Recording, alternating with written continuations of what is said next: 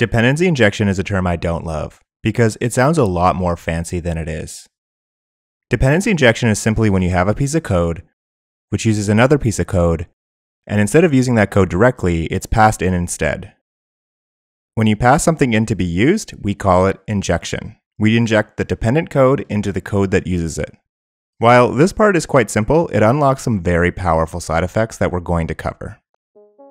We have a business app where users can chat with their coworkers. They can also send pictures and files to each other. When a user sends something, the file gets uploaded to our attachment service. The attachment service is responsible for storing, retrieving, and processing all attachments. We're going to build up this whole service using dependency injection, and we'll see what it enables us to do.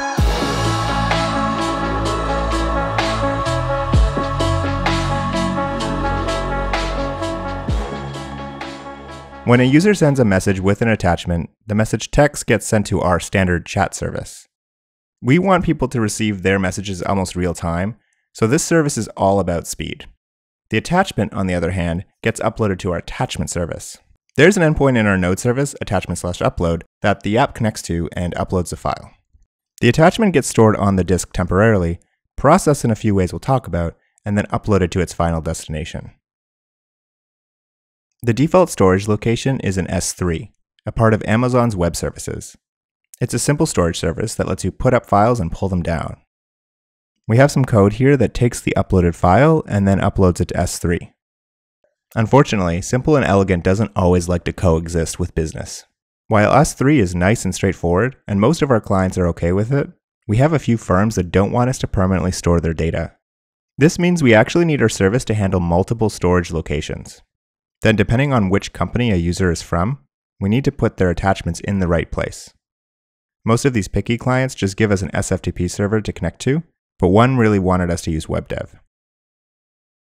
Our first thought might be to simply extend our upload code with some if statements.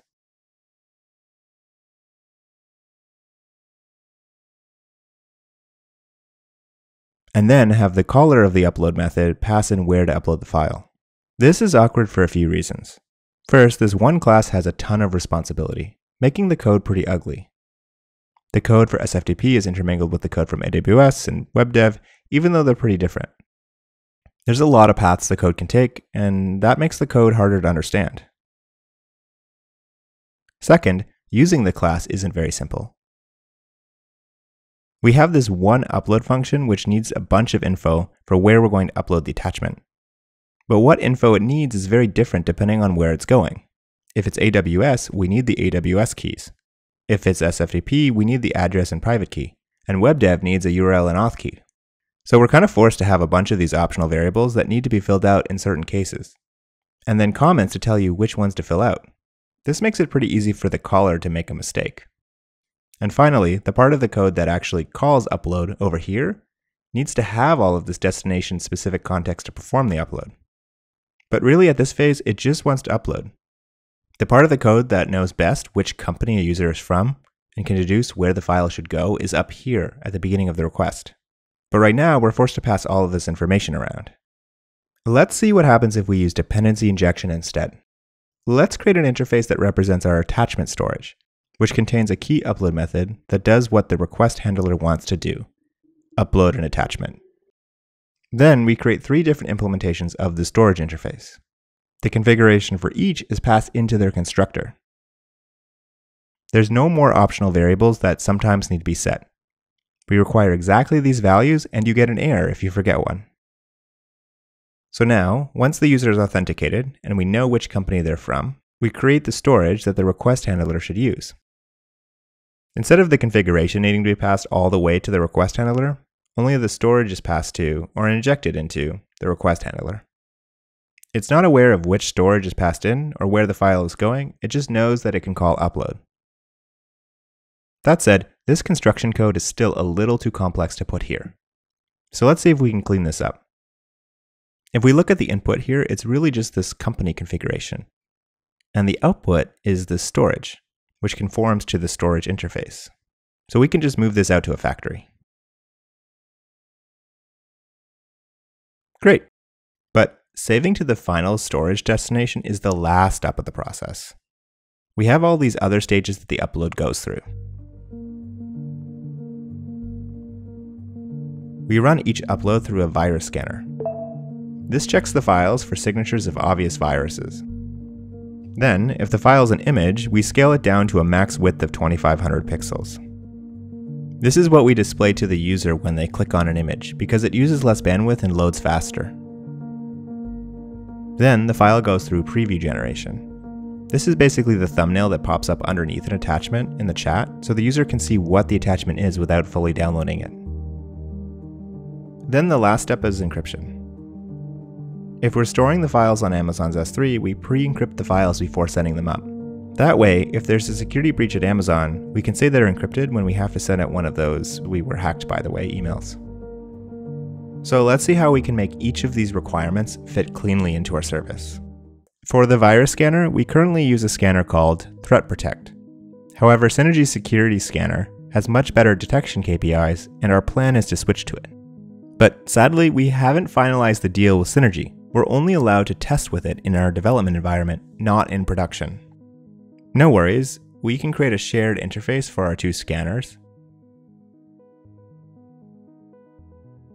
And on initialization, we pick one. And inject that one into the request handler. When we launch in development mode, Synergy Security is initialized, and in production, the old Threat Protect scanner is created. Our request handler just scans the files, but doesn't know which scanner is doing it.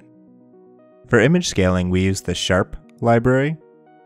In order to inject that, we simply wrap it up in an image scaler interface.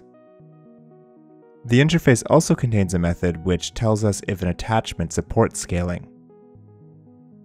We inject it into our upload request, and only scale if the attachment supports it. Preview generation is the most complex given how many types of attachments there could be. We have an interface that represents the different preview generators. It takes the input file and then returns the preview image. We have one implementation that handles document files like Word docs, slides, etc. One for videos, which extracts the thumbnail from the video, and one for images. But the image one can thankfully just reuse our image scaler. We just inject the same image scaler from before into the image preview generator. So we have all these preview generator classes, but we only need one at a time depending on which file type is being uploaded. The upload request shouldn't need to worry about these details. We'll inject a factory which takes on the burden of deciding which preview generator to create.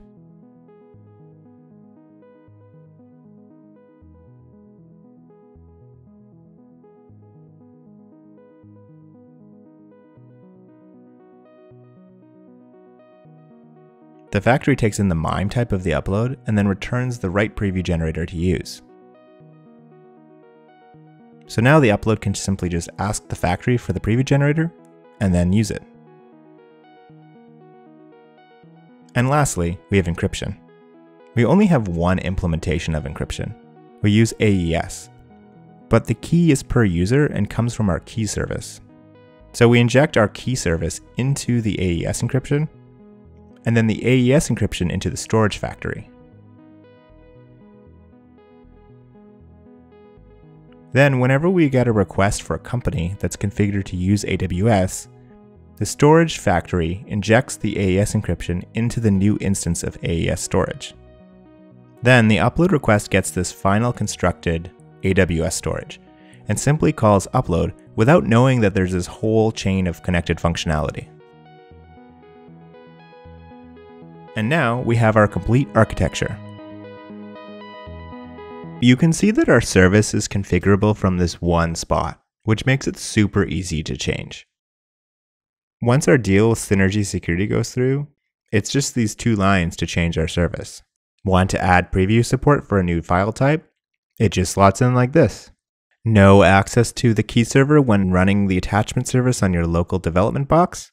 No worries we can just use a fixed key when running locally. Injection basically just lets us pick and choose from our compatible puzzle pieces and then slot them in when we need them. You'll notice that the time in which dependencies are injected varies a bit.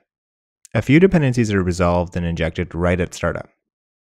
This is often the most common scenario in dependency injection. But some dependencies are chosen and injected when a request comes in. In either case, the process is mostly the same. We have some code that accomplishes something, it lists the dependencies it needs, and so we fulfill those needs.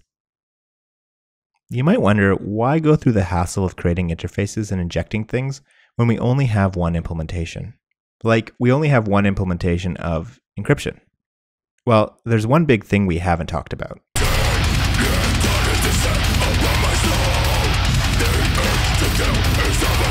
If you look at our architecture here, most of our components talk to each other through these interfaces, which are injected in. This means that each of these connection points, we can control what is being used. We've been using this to choose which implementation to use in our production service. But we can also make them use no implementation. We can use injection to inject fake or mock implementations instead, which basically means we can slice and dice up our architecture to isolate sections of code during testing. Let's say we want to write a test for our AWS storage class. We can use a fake S3, which we run locally, that pretends to be the cloud service. Then our test can call upload, and we can verify that a file got uploaded to S3. But because of the encryption, we can't actually check the content of the file and verify that it's correct and didn't get corrupted. Not to worry, let's inject a mock encryption that basically just disables encryption.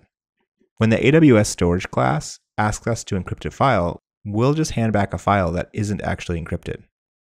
Now, our test is able to verify fully that uploading and only uploading works because we've isolated it away from our dependencies. What if we wanted to test encryption? Well, we could mock up the key store to return a key that we control instead of going all the way to the key service.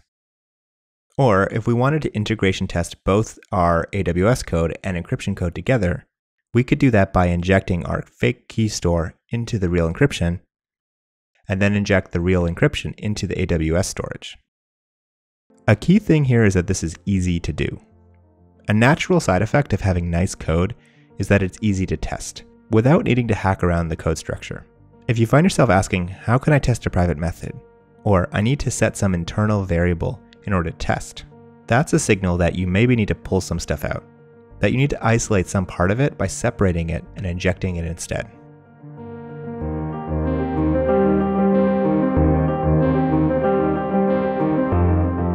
I'm going to try something new with this video. I truly think you only learn stuff by trying stuff. So for those subscribed to my Patreon, I'm going to start including some light experiments with videos. For this one, you can download the attachment service I wrote, and I want you to reconfigure the service by changing the dependency injection. And then you get to win some aesthetic points if you enter the results on the site.